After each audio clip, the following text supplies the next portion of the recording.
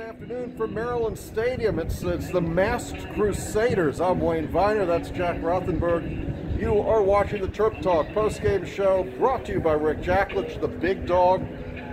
Jack, not a whole lot of offense today. 12 to 10. Maryland wins. yeah, de- definitely Maryland won. It was a very low-scoring game, but I was very impressed with some of the players on offense, especially Dontay Demus Jr. He had eight receptions for 98 yards. His connection with uh, Tagovailoa early in the season, especially building off of last season, I think is something to look forward to with this upcoming season. Uh, defense came to play today. The player of the game ends up being Mosley, the defensive back. I believe he had eight tackles. You have the stats there. Uh, so Jordan Mosley ends up as your MVP. Lotez Rogers has a big game as an edge rusher. We've been on him since he got here. I think he's from Eleanor Roosevelt.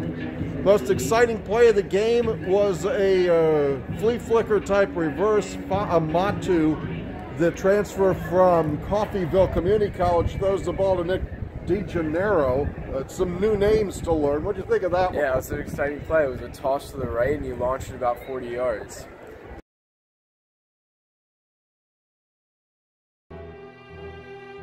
If you've been hurt in a car crash, friends will tell you you need a lawyer.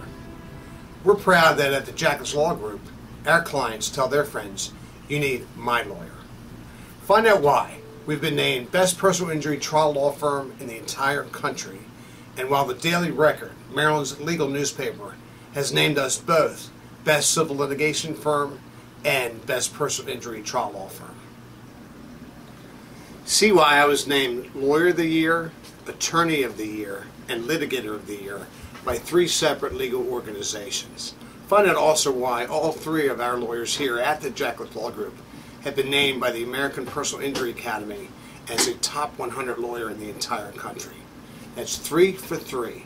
If you've been hurt in any type of car crash, fight them back with the big dogs from the small firm.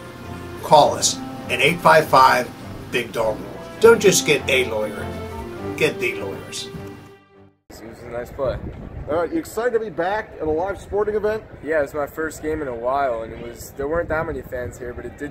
When, when there was an exciting play, there was a lot of noise in the stadium, so it was very exciting to be back.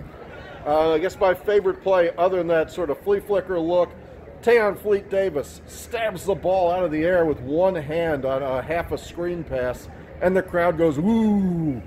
2,500 or so fans. Uh, it's nice to have some stadium food, be out again.